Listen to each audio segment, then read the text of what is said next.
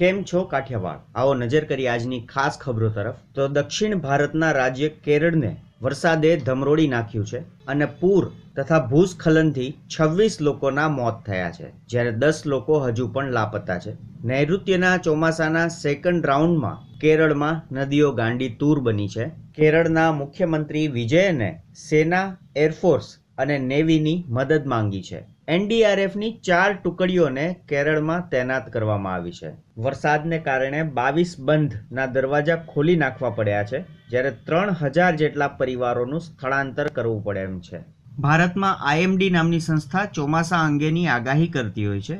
હવે આ આગાહી ખોટી કરવા માટે આઈએમડી સામે ખેડૂતોએ કેસ કર્યો છે અને આ સંસ્થા ઉપર બિયારણ તેમજ જંતુનાશક દવાઓના ઉત્પાદકો સાથે આઈએમડીની મિલીભગત હોવાનો આરોપ લગાવ્યો છે. હવે આ કેસની સુનાવણી આગળ ચાલતા જ આપણને ખબર પડશે કે આ પ્રકારનો કેસ કોર્ટ પણ સાંભળવા તૈયાર થાય છે કે નહીં. ભારતીય જનતા પક્ષના બાગી નેતા યશવંત સિન્હા અને અરુણ શોરી મોદી સરકાર વિરુદ્ધ બેફામ બોલતા હંમેશા દેખાતા હોય છે. હવે રાફેલ સોદામાં મોદીએ હોદ્દાનો દુરુપયોગ કર્યા હોવાનો આરોપ તેને લગાવ્યો છે. તેમણે કહ્યું છે કે રાફેલ સોદામાં બોફોર્સ કરતાં પણ મોટું કૌભાંડ થયું છે. બીજી તરફ અરુણ જેટલીએ કહ્યું છે કે રાફેલ સોદામાં કૌભાંડ થયું હોવાનું જૂઠાણું વારંવાર દોહરાવવામાં આવી રહ્યું છે, જેનાથી સાચું બની જવાના કોઈ એંધાણ નથી. સમગ્ર ગુજરાતને હચમચાવનાર કરોડોના મગફળી કૌભાંડમાં દરરોજ નાટ્યાત્મક વળાંક જોવા મળે છે. નાફેડના ચેરમેન વાઘજીભાઈ બોડાએ કોંગ્રેસમાંથી રાજીનામું આપી દીધું છે.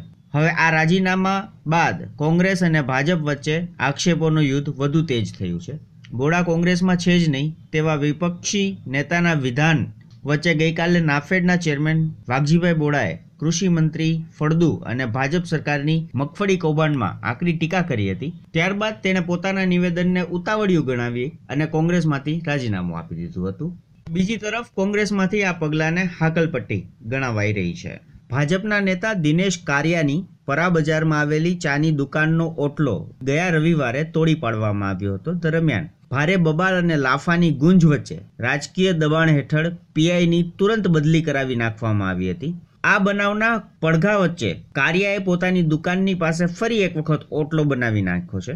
હવે મહાનગરપાલિકામાં વિપક્ષના આગેવાનોએ મ્યુનિસિપલ કમિશનરને મળીને આ ગેરકાયદેસર બનાવવામાં આવેલા ઓટલાને તોડી પાડવા ચોવીસ કલાકનું અલ્ટિમેટમ આપ્યું છે. અને જો આ ઓટલો તોડી નાખવામાં નહીં આવે તો આંદોલનની ચીમકી પણ આપી છે. એસસી, એસટી એક્ટ અનામત તેમજ દલિતો ઉપર અત્યાચારના મુદ્દે દલિત સમુદાય મોદી સરકારથી નારાજ છે એટલે તેઓ વિરોધ પ્રદર્શન કરી રહ્યા હતા. દલિતોના વિરોધ પ્રદર્શનમાં રાહુલ ગાંધી અને સીતારામ યચુરી જોડાયા હતા. નરેન્દ્ર મોદી દલિત વિરોધી છે અને બે હજાર ઓગણીસમાં સૌ સાથે મળીને નરેન્દ્ર મોદીને હરાવીશું તેવું નિવેદન રાહુલ ગાંધીએ આપ્યું હતું. આ ઉપરાંત તેણે કહ્યું હતું કે કોંગ્રેસે હંમેશા એસસી, એસટી એક્ટને ટેકો આપ્યો છે અને દલિતોનું રક્ષણ કર્યું છે.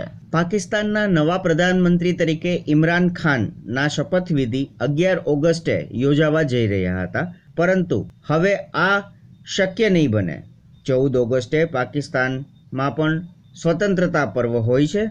રાજકીય વિશ્લેષકોનું કહેવું છે કે વિશ્વાસ મત માટે પૂરતા સાંસદોના અભાવને કારણે ઇમરાન ખાનના શપથવિધિમાં વિલંબ થઈ રહ્યો છે. હવે સત્તર કે અઢારના રોજ ઇમરાન ખાનના શપથવિધિ થાય તેવી સંભાવના વ્યક્ત કરવામાં આવી રહી છે. આ અંગે ખોટી તારીખો દર્શાવવા બાબત ઇમરાન ખાનને માફી માંગવા માટે પણ ચૂંટણી પંચે સૂચના આપી છે.